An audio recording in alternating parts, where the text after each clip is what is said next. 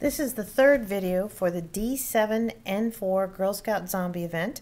And in this one, we're going to be learning how to make these paracord bracelets. And uh, we're going to be using this green and yellow checked paracord. It's the 550.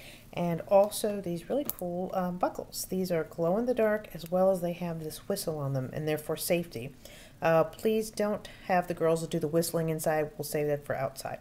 Uh, now, when you get to your station, you're going to find that all of the paracord strands and the buckles have already been attached like this. All you're going to have to do is set them up on these jigs. Hopefully I can find enough. Uh, this is something I sort of jerry-rigged.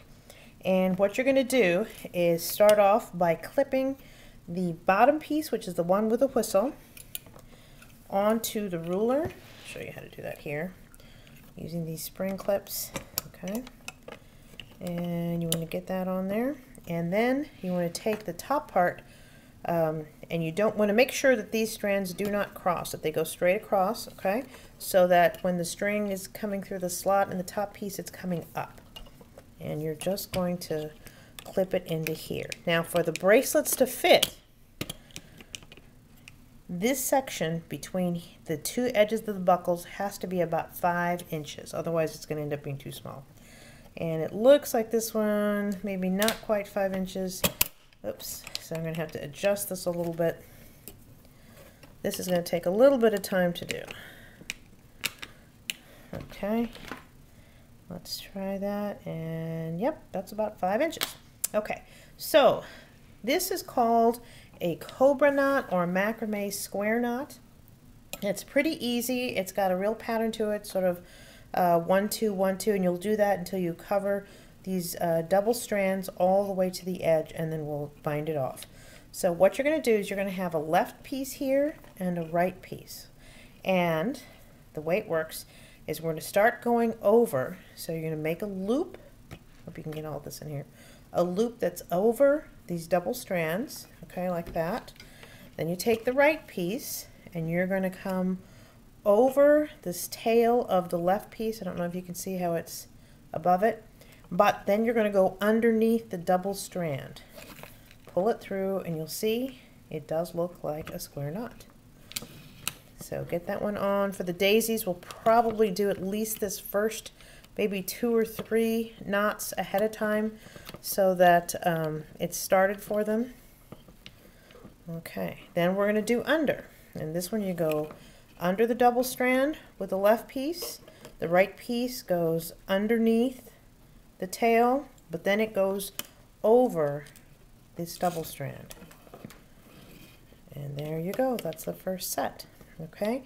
Now, if you don't remember, which one did you did first? I mean, the last one, did you do over, over, under, or under, under, over? You can take a look right here. If this bottom piece is pointing towards the left-hand side, the last one you did was the under. Okay, so that means the next one is the over.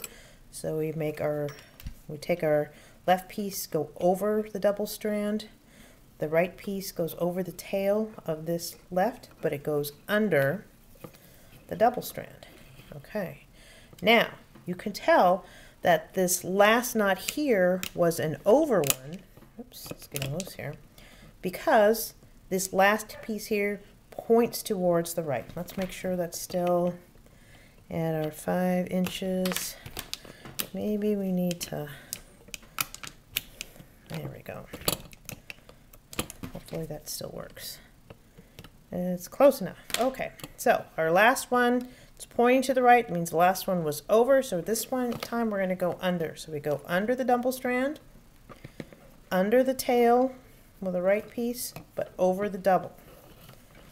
Okay, and you can see there that bottom piece is pointing to the left, so that means the last one was under, so the next one is over.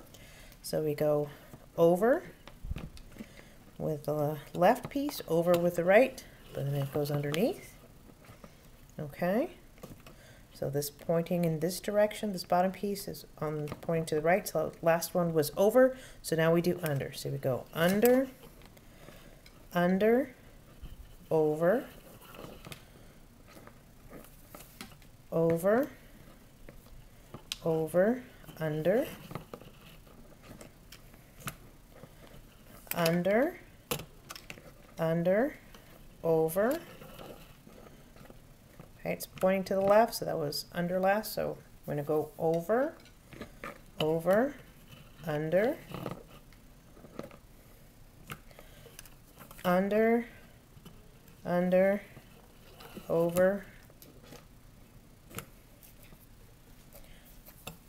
over, over, under. You can see how fast this really does go.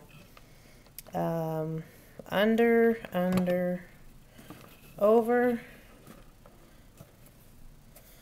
over, over, under, and just continue on. So this one would be, uh, let's see, it's pointing to the right.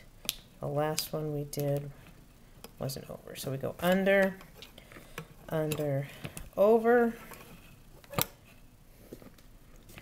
over, over, under,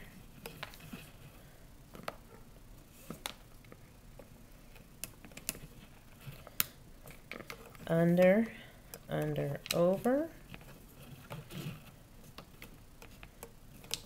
over, over, under,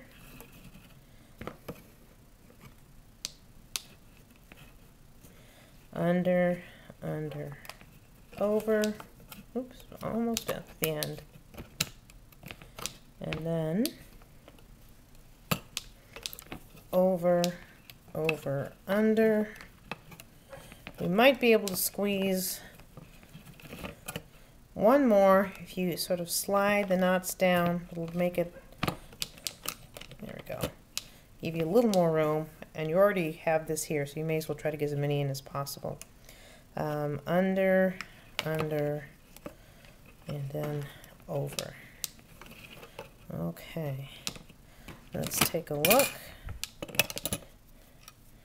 Hopefully we are at five inches in between, well, pretty close.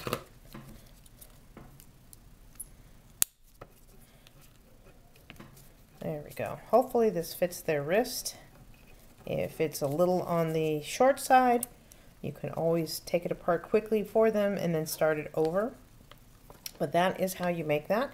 Now what we're going to do next is I'm going to show you how we cut off and seal the pieces at the end. Okay, so what you need are a pair of sharp scissors and we're going to leave about an eighth of an inch from the end here out and then we're going to melt it. So give us a little bit of room. Okay, there it's about an eighth of an inch on that side an eighth of an inch here this is not something that the girls the younger girls do um, there will be a designated person with the um, uh, fire starter uh, this is not something that I want girls doing just for safety. Okay, so they get the flame going. I don't know if you can see it. Sort of go up and down. Okay, until it melts, and then you can use the end of your stick to sort of spread it out. Make sure it's melted on. There we go. Do the other side. I may not have left enough. And again, use that there. Get it good and attach. Now you don't want to touch this for a while because it is going to be hot for, I don't know, maybe a minute or so. Maybe leave a quarter of an inch. Okay.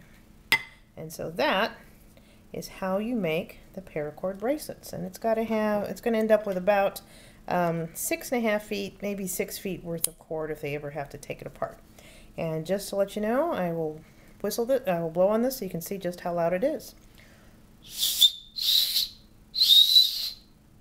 Takes a little bit of practice to get that whistle to go, but that is how we make the paracord bracelet. Thanks.